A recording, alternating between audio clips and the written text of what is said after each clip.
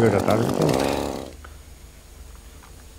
Päivää päivää. Tämä on ollut 44 vuotta, siis olet ollut tässä näin, niin Ja tulee tässä kuuvaihteessa aika täyteen 81 ja puoli vuotta. Aivan, aivan toisenlaista, mitä kolme opettajainen kansakoulu oli. Pikkuluokka, keskiluokka, yläluokkaa. Siellähän meni se kuusi talaviahan siellä meni ne kaikki. Aina luokkansa kaksi vuotta. Ja siis rippikoulussa oli silloin, tulee mieleen, niin silloin alkoi talvisota silloin syksyllä 30. Tämä, niin tämä jatkosota sitten tuntumaan. Se tulee sieltä, se tulee pikkuhiljaa ja, ja, ja niinhän se oli heinä, heinäkuu, juhannuksen jälkeenhän se oli näköinen siellä Haavapeen kirkolla silloin katsomassa sitä hommaa, kun Haapaveen, sieltä Haapaveeltä kertyi semmoinen pataljoona verran miestä ja ne lähti sitten kävelemään Oulaista kohti ja Haapaveen oma poika Vänrikki Paakiahon Leevi sitten veti sitä porukkaa. Siinä se lähti Leevin vetämällä kohti Oulaista. Mä muistan sen, että kun sillä Haapaveella oli siihen aikaan hyvin jämerä pappi Sarjola. Niin Sarjola piti siinä, siinä, siinä kentällä kovan puheen sitten. Ja siinä mainitsi, että kun te sinne, sinne tuolle reissulle lähette, niin te, te kaikki palaa Haapaveelle.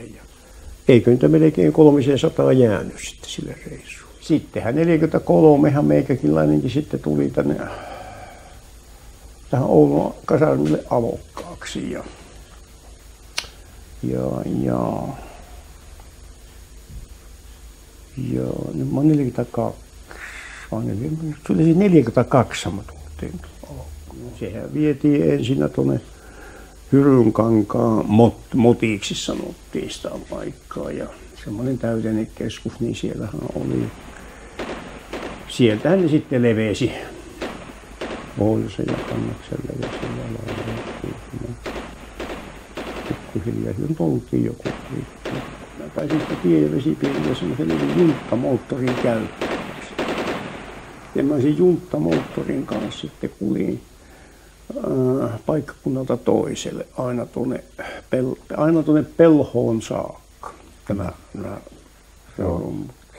ja siinähän sitten näki ja kuuli niitä paikallisilta sitten kaiken näköistä, kun siellä oli tuoreet jäljet kaikki siellä maastossa. Nehän se, se hävityshän se oli niin helvetin perusteellista niin kylissä ja niissä teidän varrissa, että ne oli kaikki, kaikki ne rumput, sillat, puhelinpylyväät ja sitten missä suinkin oli, niin oli poltettu sitten. Mm. Sillä tavalla se, se sen kummempaa. Kaikki piti lähteä uudestaan. Ja miinojasta niin pirusti oli sitten joka paikassa, että oli hyvä tuuri, että me mennyt miin.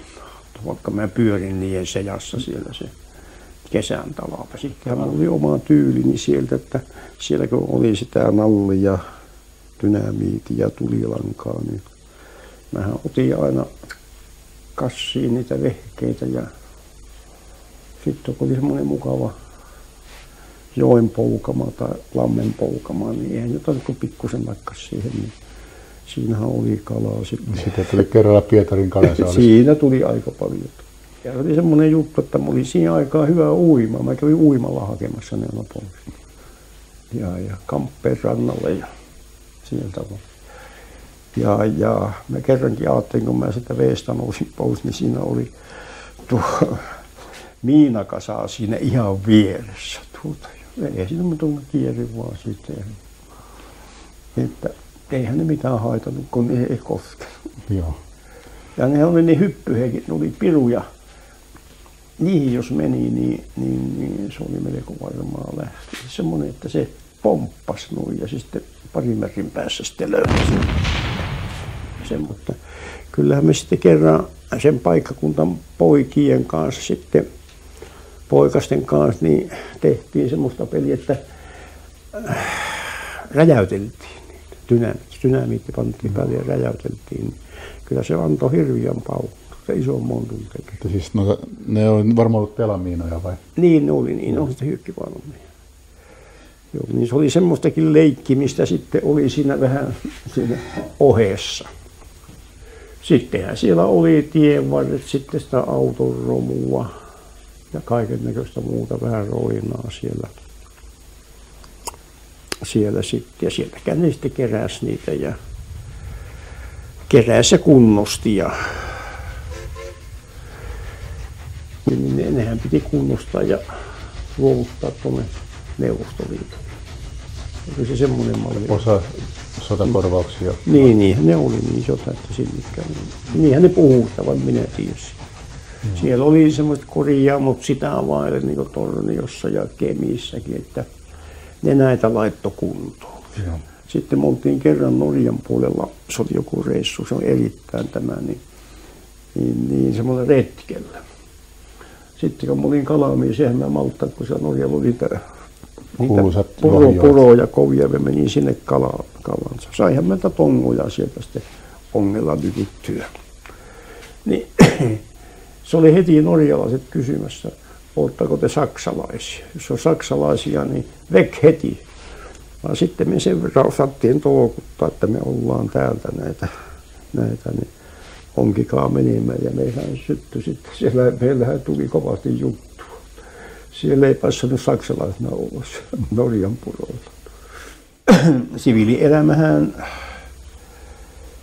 sehän ei paljon, sehän piti ihan sanotaan sillä lailla, sehän piti tuota, ruveta ensinnä konttaamaan ja sitten kävelemään tai, tai, tai tyvestä puuhun nousemaan. Että, mm.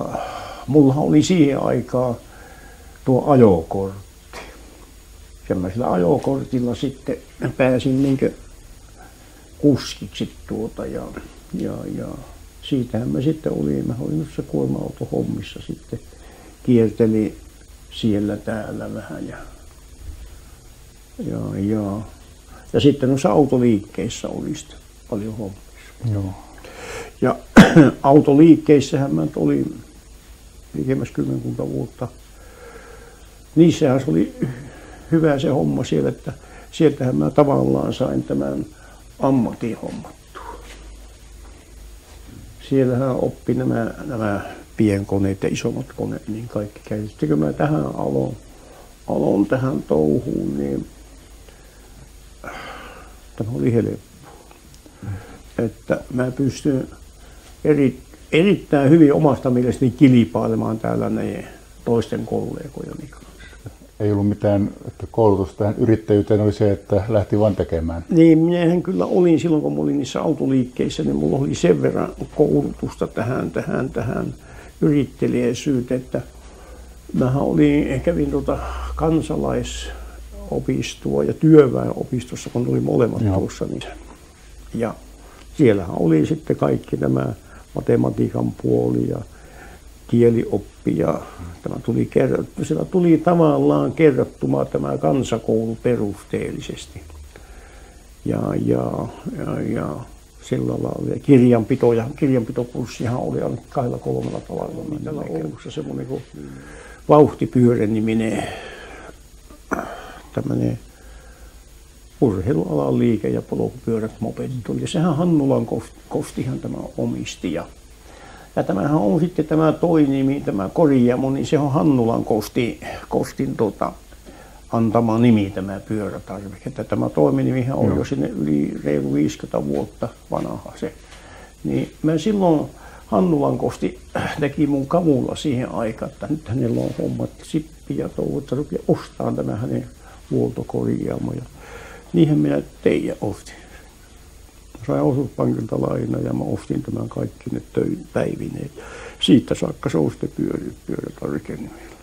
Vaan siihen aikaan sitten tuli, perustettiin tämä Pohjolan kone, se Raitaveikkohan se oli perustamassa, se on nimi tuttu. Niin, niin, niin Raitaveikko sitten rupesi sanomaan, että ja samoin tämä Kynsi Jussi oli siihen aikaan kuulossa mukana siellä, että rupia tuota, huoltamaan heidän nämä moottorisaatma kullukkeet.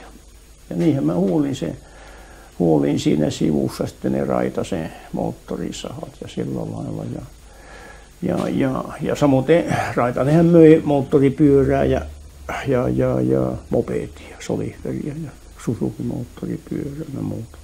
Skoottereita tai on paljon. Kyllä siihen aikaan oli niitä skoot- joku kootterikin oli jo siinä. Niin.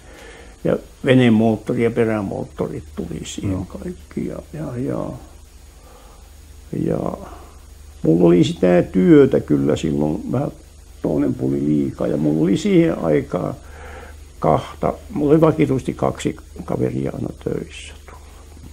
Ja semmoinen tärkeä vehe, tämän, tämän virtapuolen hallitseminen ja, ja, ja, ja tuossa voisi sen verran tuota myllyä näyttää, että jos ei tämmöisiä testereitä ole, niin tämän sorttisia, niin se on silloin tämä aika, aika vaikea saada näitä, näitä tuota, vikoja löydettyä. Viko, vikoja löydettyä. Ja sanoisin koko ajan, mitä on tässä hommassa ollut, niin hyvin vahva puoli tämä sähköelektroniikka-homma. Että ne on sillä sitten mielestäni ratsastanut no.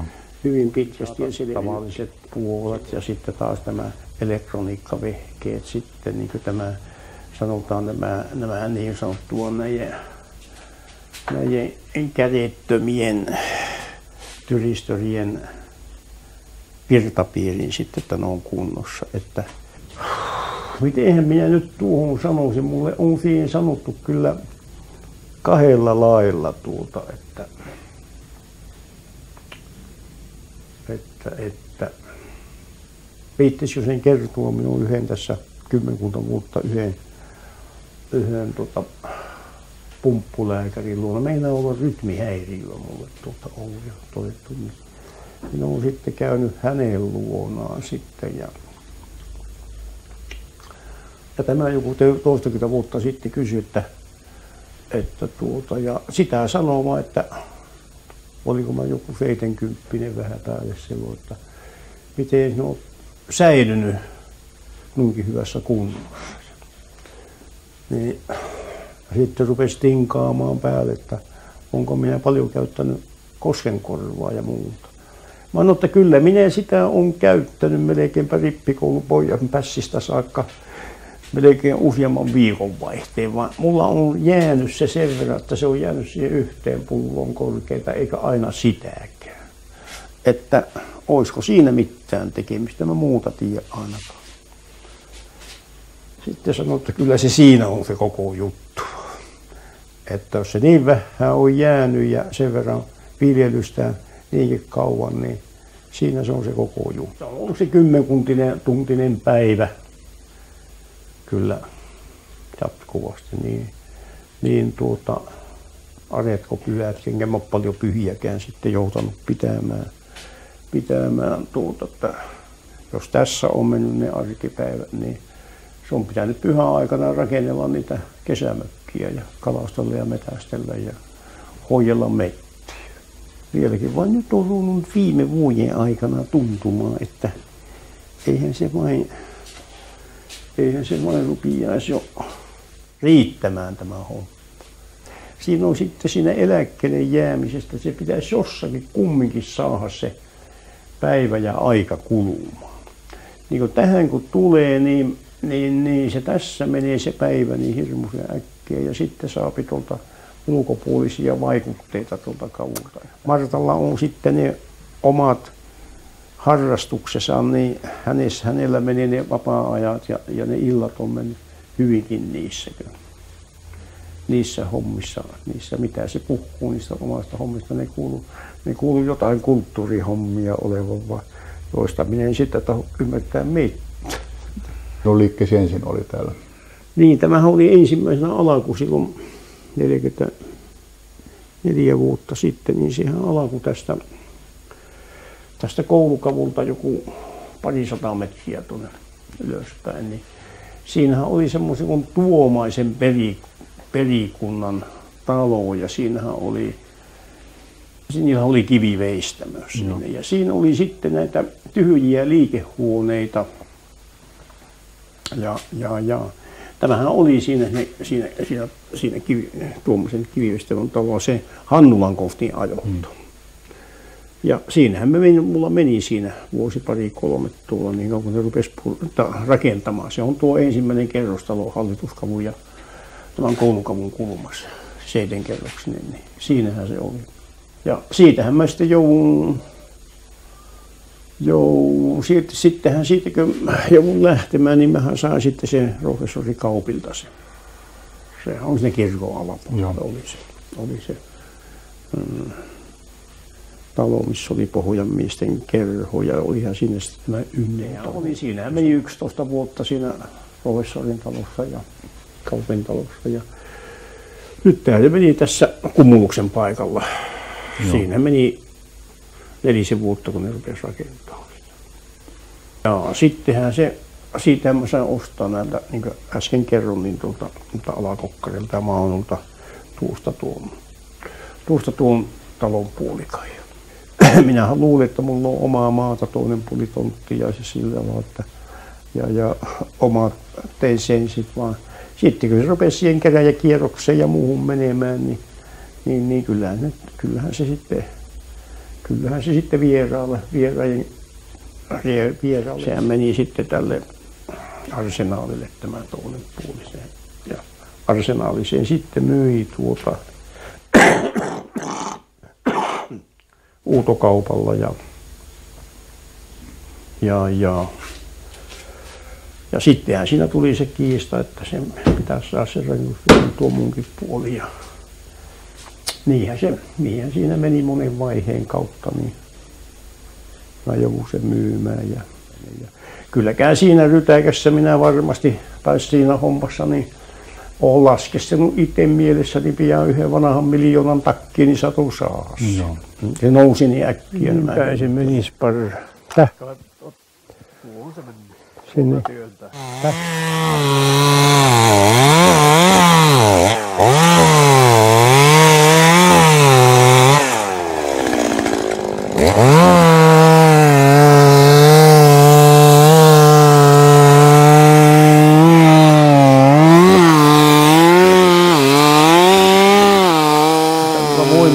Voimalaitostyömailla oli sitten niissä kun niitä kanavia poras ja, ja sieltä ajettiin ne kiveet sitten penkolle ja, ja patoväriksi, niin nehän oli monasti vähän vaarallisia hommia, että siellä kun kuohuvat kosket meni vierestä, vesi sinne ja sinne teille ja, ja tiet ja kivet oli luikkaita, että siinä sitten kempsun kanssa pysyä niin kivien päällä, ettei mennyt suuntaan. Ja niillähän sitten joutui melkein sitten enempi ajamaan takaperin kuin etuperin siellä, että se piti varmasti se ajotaito hallita, jos meinas, meinas pysyä ehjänä niissä voimalaitostyömailla. Ja, ja siinä nyt jäi kerran mieleen semmoinen homma, että mä yhtenä talvena aurasin aika paljon. Ja se oli hyvä talvi silloin, tuota, että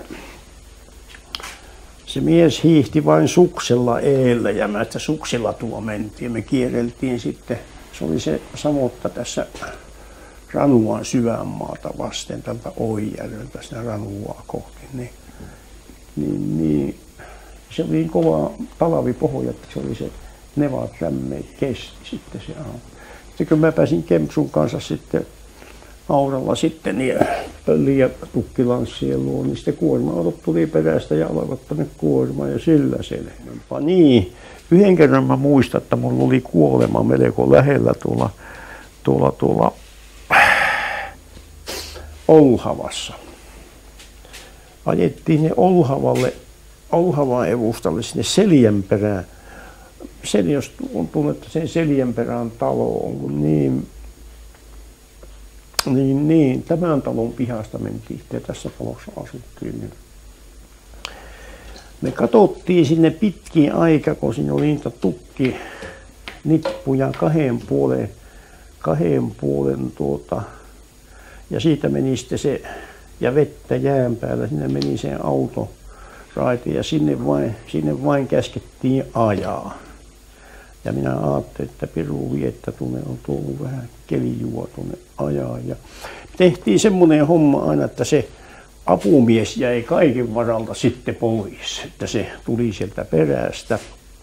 Eihän mitään, se humpsahti jäihin, vai meni sillä lailla, että tälle apumiehen puolelle kallistui se auto. Ja mä sitten kopin läpi sen apumiehen ovesta, sitten kerkäsin luikata sitten jääreun. Se oli lähellä, että siinä ei mennyt se auton mukaan. Homma tämä rattaan oikaisu niitä kun tekee noita yhden tuhannen kappaletta oikaisee, niin sitten se rupeaa käyttämään vasta sitten vähän niin kuin paremmin. Että jos yhden sata tekee, niin en mä sano, että se osaa vielä kunnolla pinnata ja oikaista sitä. Joo, minkälaisia metsänhoitohommia teet? Mä oon tehnyt etupäässä semmoisia hommia, että ne on niin kuin ensiharvennuksia on etupäässä. Mm. Ja sitten, sitten kun ne mun metän, niin ne niin ensi kerran ojit tehtiin siinä noin reilun 30 vuotta sitten, niin mä oon sitten niin semmoista uudistusta ja täydennysojitusta sitten tehnyt tässä viimeisen viimeisten puolenkymmenen vuoden aikana. Ja tässä samassa yhteydessä on sitten tullut tämmöisiä niin penkkateitä Mm. No, ne penkkatiethän on semmoinen, että siinä toiselle puolelle kaivetaan ravi ja sitten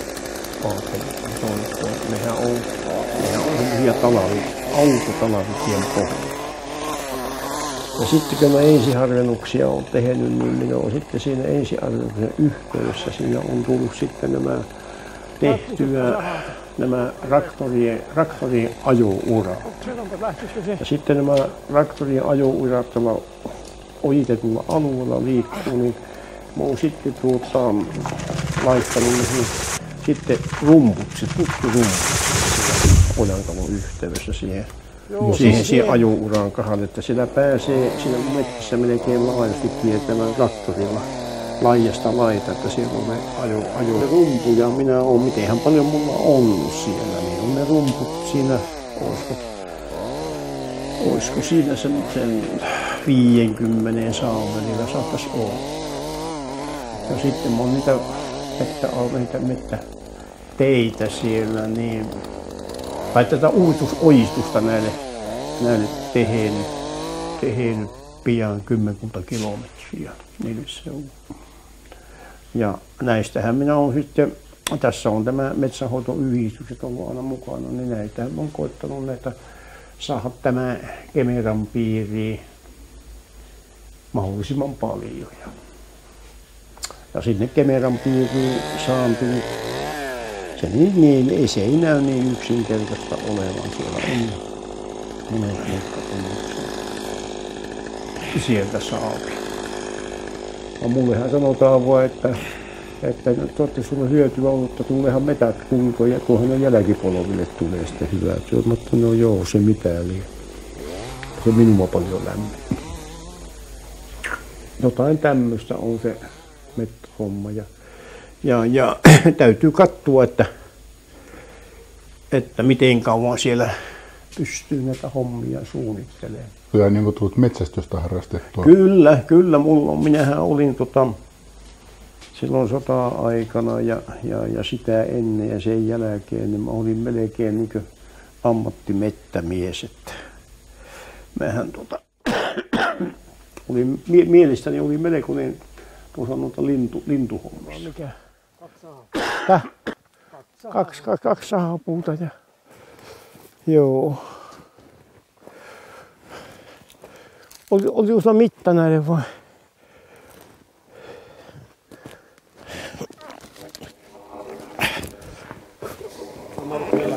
Täh? Tuota oli sulla tähän tuohon ohi. Tuohtaan tuli kolme metrinen ja tästä tuli saa. No niin, tässä oli semmoinen kuusi, mikä on vahingoittunut. Että siihen on traktorin reki tai muu ryössäsy ja runko lähtenyt pois ja se on ottanut pientä lahua. Laastus on kaikista parasta ollut, että me on Puhosjärvestä niin yrittänyt kalaa ja sitä mä nyt omiksi tarpeeksi, niin sieltä kyllä saa. Niitä tulee muikkua ja ahave on ollut viime, parina viimenä vuonna, kolmena vuonna, niin se on ollut hirmuisen isoa ahaventa. Se on ollut siinä lähelle 30 senttistä ahaventa.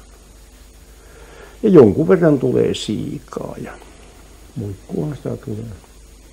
Veneellä, mulla on veneitä siellä. Mulla on siellä kolme kappaletta hyvää venettä ja puoli tusina on hyvää perämoottoria. Että, että kyllä mä vesille pääsen tuolta.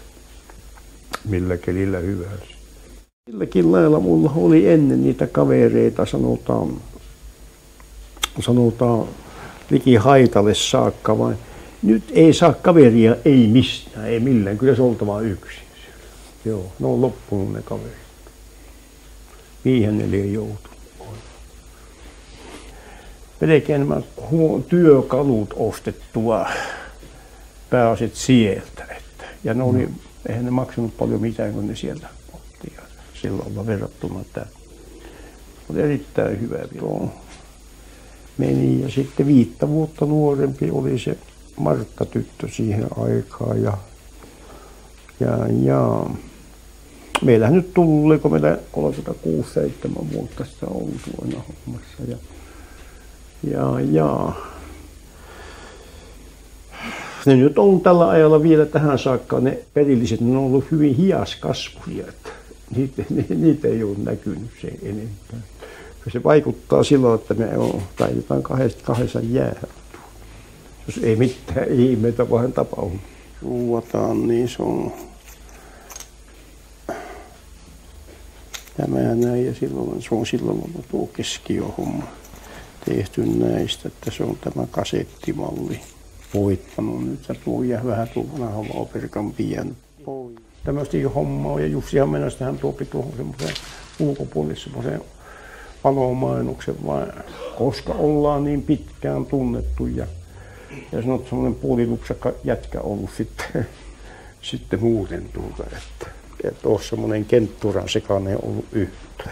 Ottaa sen uuden samaan mittaisuus. Tästä on lyhyemmät tai pitemmät, niin silloin ei se polin kampi sovi sitten pyörimään. Se on mm. uutta stiilejä myynyt. Mm. Ja, ja, myyt ja korjaat Joo, näitä. joo minä tuon stiiliä teen. Ja sittenhän mulla on ollut nämä näistä saakka ja on edelleen kaiken merkkiset moottorisahat, mikä on, niin ne saa tulla. Ja, ja, ja sitten kun mulla on sillä periaatteella, että on kaiken merkkiset ja sillä lailla tehty. Ja ne on niin rakenteelta ja niissä on niin samanlainen sorttinen kaikissa, paitsi rakennejutut heittää siitä ja, ja, ja nämä nyt ei hyvin paljon tee tuota. Se on niin kaikista paras ja rahasin homma mun koko toiminnan alalla. Moottorisaat kun oli parrailla ja minä hajin niitä aina Lapin kauppia tai jonkun 10 toista kymmenen vuoden aina tuo peräkärrykuormallisen käytettyjä sahoja ne möi ja laitteli ja niistä sain varaosat. Ja minun on hyvin vähän tarvinnut noita varaosia sitten oftella hommaamaan. Ja sittenhän minulla oli Haapaveellä se maatila, minkä mä sain ostaa pakkohuutokaupassa 30 vuotta noin, niin siellä mä oon kaikki laittanut ne rakennukset varastoksi. Siellä on vanhat navetat, asurakennukset, niin siellä on lukot ovissa ja siellä mulla on ainakin parisen sataa vanhaa sahhaa ja venemoottorin romua, ruohonleikkuria.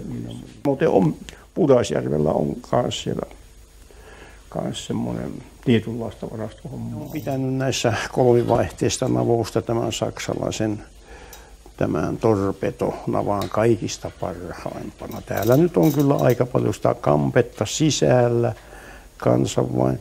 Tämä on hirviän kestä. Mulla on ollut, mullahan oli siellä, siellä, siellä, siellä Haapalle Karsikkaalla oli justiinsa semmoinen Taito Mäkikangas, joka mulla oli pari 30 vuotta ihan vakisena sillä oikea käsi vaan.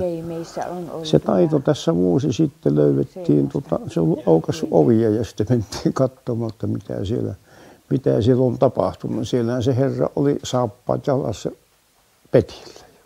Yeah. Joo, se taitolle kävi sillä lailla. Ja minä menetin sitten, se oli iso menetys mulle, kun mä menetin sen kaveria, joka teki ja hoiti ja katsoi mun tiluksia. Sitten jos se hän, hänninen vielä häippää sieltä, niin ei siellä ollut ketään muuta kuin yksi sen jälkeen. Sehän se nyt olisi se neliveto maasturi Volvo, sehän se olisi tota, sitähän mä oon vähän tässä ajatellut kyllä, että siinä saisi vähän itselle, kun laittaa sen. Sekin maksaa tota vanhassa rahassa, niin mummun Markossa, niin sehän on yli 400 000. Se on aika kallista. Mm. Vaan kyllähän sillä taas semmoisen kymmenkunta vuotta kolluuttelisi menemään ilman isompia remonttia. Tuossa päärakennuksessa on ollut sillä Aapolla aikanaan kauppa sitten tuossa ja tuossa rakennuksessa. Ja Kolase runkotie, minkä, minkä, ne, minkä ne teki tässä. Sehän, te, sehän Kekkonen sen teki, sehän tuli yksi kaksi se tie, että siinä ei paljon höpisty. Että ja sitten tuossa on semmoinen juttu, tuo Petäjästä voisi sen verran olla tarua, mikä näkyy tuosta rakennuksen päästä, että se on puheen mukaan siinä kylällä oli semmoinen, sanottiin hautakorpi Olliksi. Hän meinasi, että se on ollut ennen se tuolla tuo Petäjällä semmoinen homma sitten hyvin vanhaa aikaa, että siihen on sitten, siihen on sitten sijoittu kiinni niitä pahanpynttisiä ja sitten annettu raippuja. Joo. Ja silloin tuolla Petäjällä silloin ainakin 200 vuotta ikää. Se on se ympärys ainakin metriä. Minä luulen, että onkohan ne sen luonnon suojelleet. Se on, tästä kun mennään tuonne Koilismaalle ja suuntaan. Se on, tuo on kanssa Puhosjärveltä se matikka. Mä sitten koukulla pyysin matteita, niin siinä oli, oli vahinko ollut sitten, että siinä matikka me jäi koukkuun. Verkkojahan mulla on yksi 50 kappaletta aina. Uusjärvellä on ne verkot. Mm. Kyllähän se semmoista aivan musta sattuman kauppaa oli se ja, ja hommaa se ensi tapaaminen ja siitähän se sitten lähti ja siitähän on aikaa nyt tähän päivään mennessä paljon siitä nyt on, koska se 36-7 vuotta suurin piirtein. Siinä Kärsämään kunnan, kunnan olitko sinä kunnan sihteerinä vai minä sä olit siellä jonain semmoisena niin muistaakseni. Niin siellähän me asuttiin sillä lailla, että hän puolikymmentä vuotta kuljettiin tätä Kärsämän ja Oulun väliä ja sitten hän tuli tänne sieltä ja sitten hän on viihtynyt täällä ja ollut täällä pian. Oletko joku ainakin reilu 30 vuotta ollut tuolla Oulussa? Laulun lausunta, lukeminen, liikunta, niin se, on, se on helppo muistaa. Joo, mä laulan kuorossa vielä nytkin ja, ja sitten tänäkin päivänä olin tuolla Tuiran kartanossa, siellä oli järjestetty, sehän on semmoinen vanha asuntopaikka, se tu, Tuiran kartano, niin tuolla siellä oli järjestetty itsenäisyyspäivän vastaanotto näille asukkaille ja omaisillekin, niin tuota, siellä oli sitten ohjelmaa, niin, niin minä, minä olin siellä lausumassa sitten runoa niille, että isänmaallisia runoja. Jonkun verran minä olen ollut tuota, täällä Oulussa ollessa niin mukana noissa kirjoittaja, Oulu-opiston kirjoittajapiirissä. No jos minä sen itsenäisyys päivärunon nyt lausun, koska huomenna on se Suomen 88. itsenäisyyspäivä sen nimi on Suomelleni. Isosiskoni Suomineito, sinä vaalit ja hoivasit, leivän palasen annoit ja lämmintä tarjosit.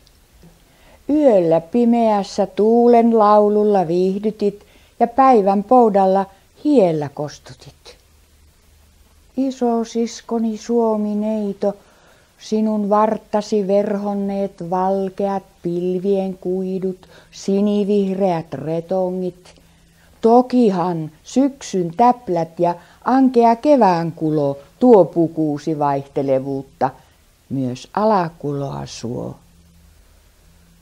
Hipiäsi on haurastunut. Hoitoasi laimin lyödä tuskin olit aikonut. Mustalainen sanonut on, vähäisinkin vaate vartalollesi eduksi on.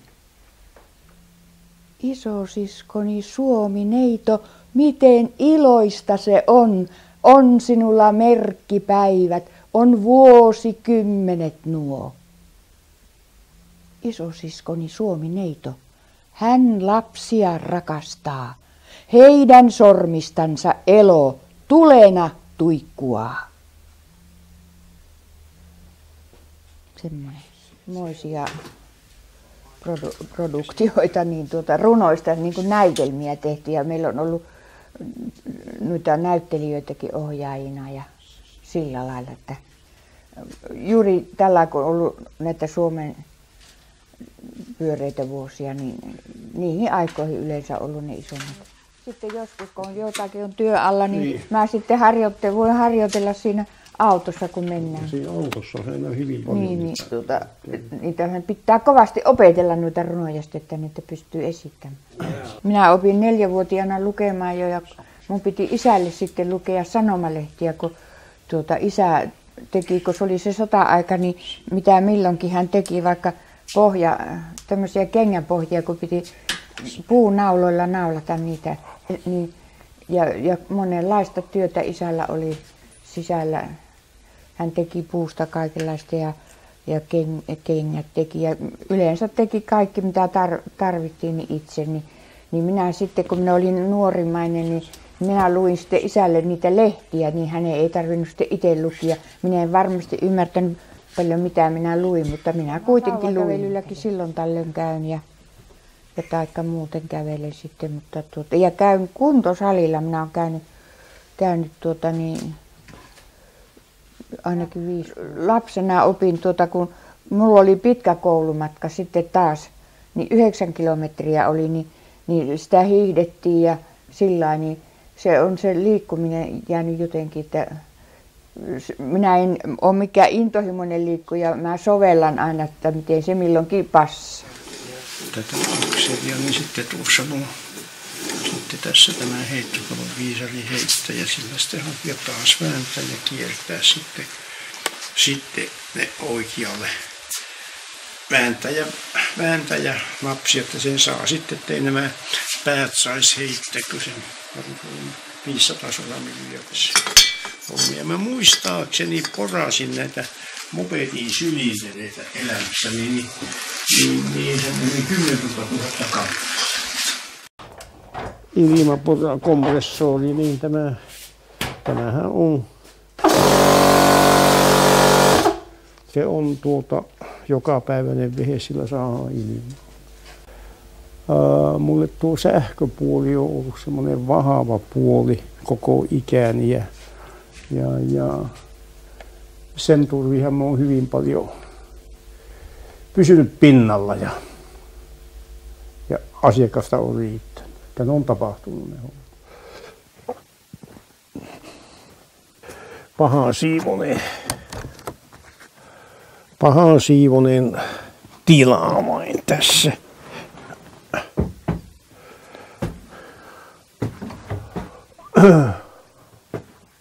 Tässähän se on ollut tämä pirtti ja siinä on ollut se tulisi ja, tulisi ja uunihommat. Ja täällä on ollut se Mantan kamarisali sitten. Niin siinä nurkassa on ollut se kauppahuone siitä sinne kulumassa aikana. Sitten se on ollut kuulemma hirviä nuukaa silloin sen punnistuksia mitan kanssa, että se on ollut se siniveliäs tyttörö, niin se on pantu partaveitellä vejetty sitten keskeltä halaki. Sitten kun niillä ei ollut varaa ostaa, niin se on sitten mitat paino, punnittu, että kumpi puoli on jäänyt iso raskaammaksi. Samoin kuin ollut sitä pölökkysaimaata ja, ja, ja työmiestä, niin tupakkia, niin se on aina ostettu tu, äh, tota, yksi työmies, niin sekin on sitten, nekin on sitten katkottu veitellä kahtia. Pantu sillä partakoneen terällä, että se on se tasajako on hyvä ja puhuhan niin silloin, että se manta on ollut sitten niin kuin, niin kuin, niin kuin tota, myyjä, myyjä tyttönä ne pyörinyt niistä, kun se on silakoitakin punninut niille köyhille, niin se on ottanut sitten, niin se on silaka hampaissa katkaissut puoleksi ja sitten tuota, se on niin, ollut niin nuukaa se mittahomma.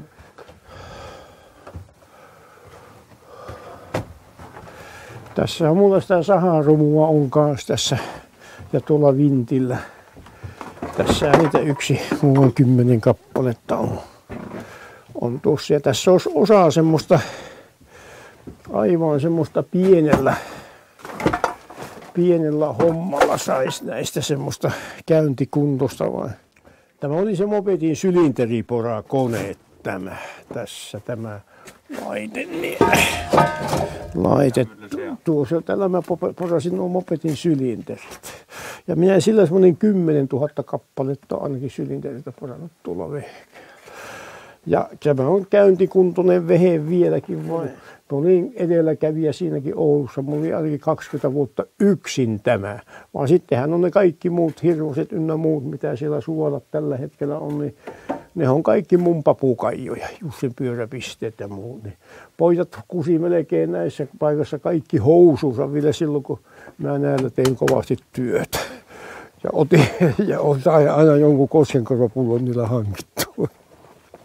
Sitä oli melkein joka päivä yksi kymmenen kappaletta. Se meni hyvin laajalle se Oulun ympärissä se maakunta. Se ei ollut ainoastaan kaupunki, se meni joku liki parin saan kilometrin sätteelle. Ja samoin oli sitten heittokellolla taas se pukki ja rässit ja muut vehkeet. Mä vaihon niitä kiertokangen alapäitä. Ne oli ne vehkeet ensimmäisenä muun. Se oli semmoinen Oulun autoliikkeessä oli ennen sorvarina lempiarvi ja mä lempiarviin sitten tulin tutustumaan ja, ja, ja Arvi oli niitä Karjalan uuskirkon miehiä ja, ja, ja sitten kun siihen sai yhteyden ja tutuksin, niin se oli hyvä mies. Se teki sorvissa ja sorvassa ja tehtiin sorvissa hirveän paljon näitä hommia. Jos ilman sorvia on, niin se on mitään. Kaikki kiertokangen alapään tapit ja muut se sorva sinne. Ja, ja, ja ja sitten mulla oli hoonikone, sillä hoonikoneella sitten hiottiin kiertokangin silmät muut ja sitten siihen sovitettiin sitten ylisuuria rullia. Taas pelas. Ja, ja.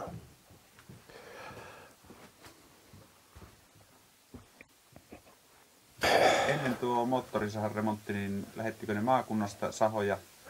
Ne lähetti ja toivat ukot sitten kummallakin laitteella. Sekin oli, niin kuin, niitä oli sitten, että niillä oli jonkun päivän aika niitä laittaa ja ne heitti sen ja hakivat ja, ja, ja sitten piti olla tehdä mukaan niitä sitten niin paljon kerran.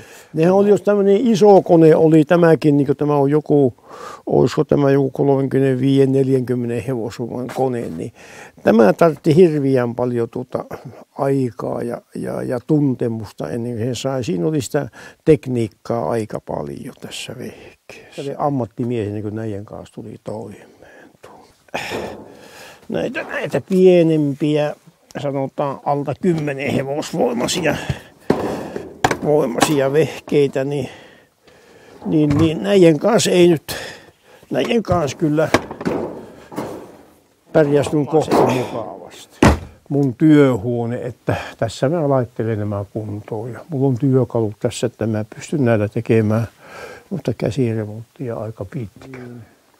Ja Puhosjärven mökillä on jokseenkin samalla. Mulla on kolmessa paikassa tavallaan tämä työversashuone tämmöistä on ollut, tämmöistä on ollut tämä köyhyyden ylläpitäminen ja sillä lailla tässä viimeiset 45 vuotta. Ja siellä oli Nisulan sähköhuoltokorjaamo, oli siellä Oulussa Tuiran puolella. Ja sitten kun tämä oli lahoneissa renku, renkussa tämä homma, niin minä sitten Nisulalle sanoin, että paljonko sinä tuolla tahkolla, sanoin, että myy mulle, mä ratan kun. Minä ostin Nisulalta ja tämähän maksoi sitten, eihän se paljon mitään maksanut. Tässä on erikoista siinä, että tässä on 40 mallin vuorti tämä kiinnitys, tässä laturin kiinnityskappale, tämä laakeron, että se pyörii tuossa noin mukavasti, kun siinä näissä on pyörinyt laturien. Ja tämän pukihan teki tässä sitten yksi Mäkikangas Antti-niminen mies ja sen mestaru. Ja tässä on sitten tämä, tämä on, että siinä on auto sisärengas, siinä pannaan vesi tänne. Tahkotaan niitä omaa ja sai sitten niin Lapin kauppion luottamus. Ne piti saa hirveän kova luottamus, että jos ne vähänkään huomasi, että vilippiä pelastaa, jos varasti tai näpisti, niin se oli liiut poikki kerralla. Ja, ja, ja mullakin ei ole semmoisia, semmoisia taipumuksia yhtä ollut koskaan, niin, niin, niin mä sain semmoisen tunnustuksen sulta, että se on oikein pirullinen ostaja ja, ja vaikea ostaja, vaan se on siitä hyvä mie homma, että sinä maksat heti, etkä nauvu, etkä itke jälkeenpäin, vaikka näpille saanut. Mikä tuli tämä eurohomma, niin sehän vei markan ostokykyä ainakin 30-40 prosenttia pahaisempi ostokyky markalla, niillä markolla nyt tämän päivän eurossa. Nämä pankki ja muut sijoitukset, ne on kaikista huonoimpia, mitä voi olla. Ihan kun me oltiin kesällä, kesällä heinäkuussa pari viikkoa oltiin tuolla Härmän kuntokeskuksessa tuon Akan kanssa. Niin, niin, niin. Siellä sitten kuuli sitten sen maakunnan juttu juttua ja sillä lailla sitä murretta. Niin isän puoli sukujuuri, niin ne on tulleet tänne Haapaveelle. Ne on tulleet Kaustiselta Härmästä ja, ja Ylistarosta. Sieltä on hommat jo aina 1500-luvulta saakka. Selvät, selvät pasmat perustua ja Kurekosken sukua on sieltä saakka. Ja ne on kuuluja kirkonrakentajia ollut ja ne on tullut sitten sitten tänne Haapavelle kirkonrakennushommia. Meillähän oli se oma katsastella tuossa täällä Karsikkalla, niistähän oli yhdeksän kappaletta. 70, 60 on hengissä, kolme on mennyt syöpään, velipoika. Mm. Muuta se, että mitä tässä näkyy nämä rakennukset, tämä ja muuten, niin nämä on noin semmoinen reipas sata vuotta sitten vanhoja nämä hommat. Ja sitä tätä ennen, niin se on ollut se mitä se Mantaja Aappo on tullut sieltä Amerikoista, niin tuossa se on ollut semmoinen, semmoinen se, mitä mä oon kuullut, että se on ollut semmoinen savupirtin tapainen rakennus tuossa. Ja ne on siitä ja ne on siitä jaloon sitten rakentaneet tämän. Ja ne on ostaneet semmoilta herroilta kuin Epalta ja Mannukselta nämä, tämän tilat. Ja sitten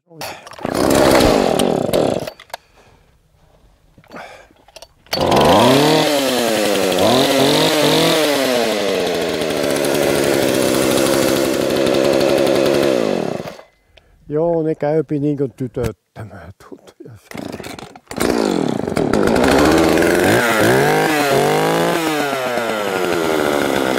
Tämä on kans hyvä saha tämä.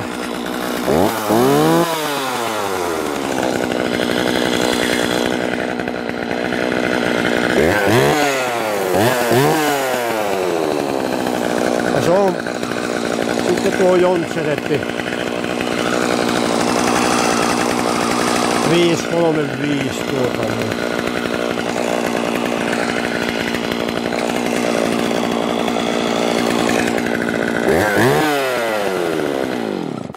Tämä on semmoinen ammattisaha etupäässä ja tässä on tehua. Tämä puu arviota, arviota olisiko 5-60-vuotias korkeintaan. Ja tästähän tuli, tämä oli tavallaan niin kuin sanotaan kolmen leikon puu, että kolme, kolme tukkia tuli semmoista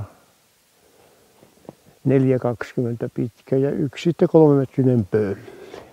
Koska siinä tota, tyvilahua jo rupesi hieman olemaan rosua, niin tämä nyt jouti kaataa pois. Sehän olisi tätä pöllin vain joka tekisi ja, ja, ja mihin ne panisi ne markat, jotka tuolta tulee sitten. Tuota, kyllähän ne mielellään ottaisi tämä, tämä osuuspankki ja meritane vai, tota, vai, vai, no huijareita vähän sen tahtovat olla, että mä en taho oikein niihin, mä tahtoisin luottamus pikkusen niihin toisinaan horjuuttua jos lähtee näihin rahastoihin ja näihin osakehommiin, niin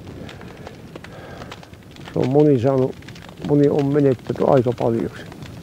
Se oli hyvä bisnes, kun mä sen toistakymmentä vuotta pitkän matkaa kierin, kierin kerran pari vuodessa nämä Lapin kauppia. Joo, niin se oli hyvä, se oli kaikista parasta. Minä sieltä aina toi jonkun. Joka vuosi kumminkin toista sataa, mutta käytettyä sahaa Sitten mulla oli semmoinen periaate, että mä varmasti ne piti olla kunnossa, minkä minä laitoin. Mä tein semmoista takupohjasta työtä, että tuolla suku, suurkapitalistilla on semmoinen homma, että se pyrkii tämmöiset näpertä ja ammatin kokonaan hävittämään pois.